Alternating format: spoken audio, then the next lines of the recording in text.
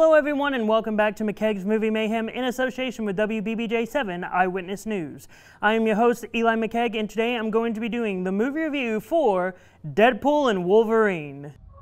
Hi, Peanut. I'm gonna need you to come with me right now. Look, lady, I'm not interested. All right, well, I'm sort of on the tick tick, so upsy daisy. Here we go. Oh, Quite common in Wolverines over. Now, Deadpool and Wolverine is the third installment of the Deadpool franchise, and it is also sort of a wrap up of the 20th Century Fox X Men universe of sorts, because this, mu- this movie very much, at least in the credits, they show like a highlight reel. I, I'll say this they show a highlight reel of some great stuff that has happened over at 20th Century Fox, and it's very much an homage to this franchise that is no longer with us now. And I really like this story as well because the story is setting up the fact that Deadpool needs to save his universe because of shenanigans from the main antagonist. And the only way he can save this universe is to get an alternate version of Wolverine because his version of Wolverine died in the movie Logan. So having to try to find an alternate version of Wolverine to try and help him save his universe. If that makes any sense. Makes sense to me, but I'm a weird comic book guy who understands all that crazy stuff.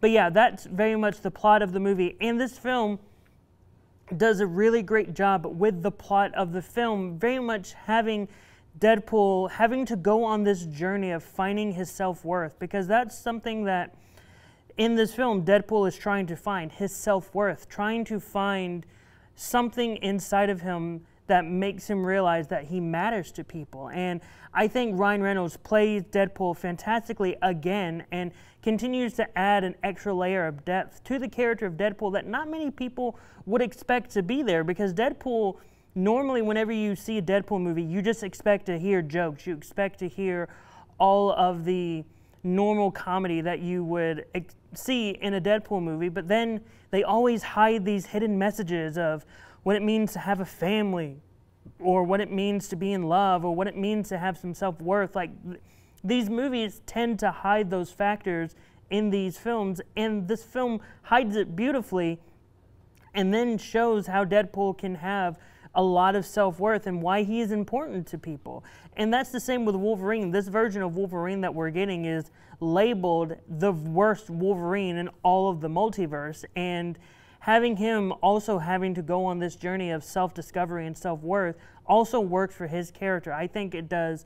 This movie does a really great job establishing the relationship between this version of Deadpool and this version of Wolverine. And I think it also helps that this movie is rated R because because Hugh Jackman gets to fully go to a point where Wolverine he hasn't really been able to go to as Wolverine except only in Logan, but this film allows him to go a little bit further with it, allows him to let loose in terms of the language, in terms of the violence, in terms of how he can present himself as a bit of a more mature version of Wolverine than we have seen in the X Men movies and his own two Wolverine movies prior to Logan. And I think this film does a really great job establishing this how different this version of Wolverine is from the Wolverine that we have known since the first X Men movie all the way back in 2000. I think also that this movie handles a lot of the cameos very, very well because there are quite a bit of cameos in here. Like I, it's hard for me to put a number to it, but there are cameos that some people would expect to see, and then there are other cameos that you wouldn't expect to see. Like there was a scene that had some cameos where I was just thinking to myself, I can't believe we're getting this right now because I did not I didn't expect to see these people in this movie, but we're seeing it and I'm happy with it.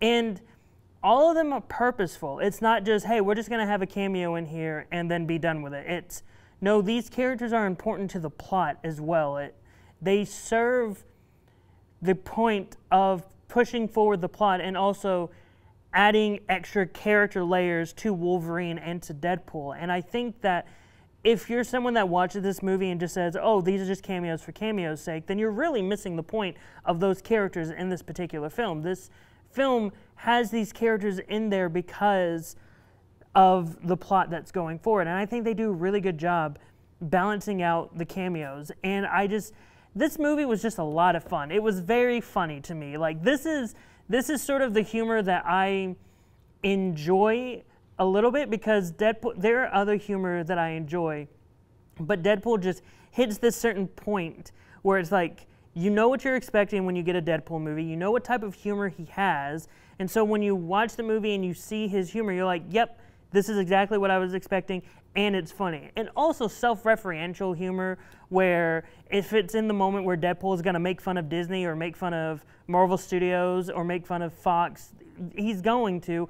And it's funny because he's doing it in a funny way. And the opening title sequence in this film is one of the funniest opening title sequences I have seen in a long time. I was laughing my butt off, and I can just say that I enjoyed this movie so much. I feel like if there's if I had to think of one negative, and there is one negative, is that the villain plot really isn't substantial. But that's one of the main problems with a lot of Marvel movies and even a lot of superhero films that the villain plot and the villain themselves makes they introduce the villain and they make them seem important but overall to the grand scheme of things it's like oh the villain's there the villain's there to service the heroes and the hero's journey and all. And so it's not that strong of a villain character. And I think that's what happened with this film. The villain who is Cassandra Nova, Emma Corrin, who plays Cassandra Nova, did a really good job in the role. I just felt like the character could have been a lot better. I think the character could have been a lot stronger with the motivations and stuff. It just felt like Cassandra Nova was just a villain and just doing evil things because that's her thing. She's just an evil villain. And I feel like they could have done a lot more to flesh out her character or given her a better motivation than just, hey, I'm evil, I'm going to do evil things, and I'm in this void because I am evil, and that's it. But yeah, I overall, in, I love this film so much. It hit, the comedy hit every single time. Shawn Levy, the director, did such a fantastic job directing this film. Ryan Reynolds and Hugh Jackman as Deadpool and Wolverine were amazing. Like there was no doubt they were going to be amazing, but having them back in these roles is just amazing to see and being able to see them find a way to make their versions of these characters work in this grander film was fantastic. Again, especially with Deadpool very much being the 20th Century Fox Deadpool from the X Men movies, and then Hugh Jackman's Wolverine being a completely different version of Wolverine than we have known, but yet also feeling familiar. It's just being able to bring all those together so much fun. It was so great to see this film. I love this film so much. And again, it could just be I just got out of the theater and that's how I'm feeling. And maybe in a few days I'll be like, oh, I didn't like it as much. But no, I everything about this film has is very much what I needed to see. And I know there are going to be a lot of people that are going to go online and say, oh, the MCU is back now. Like it was gone before, but it's back. I don't think the MCU has ever been gone.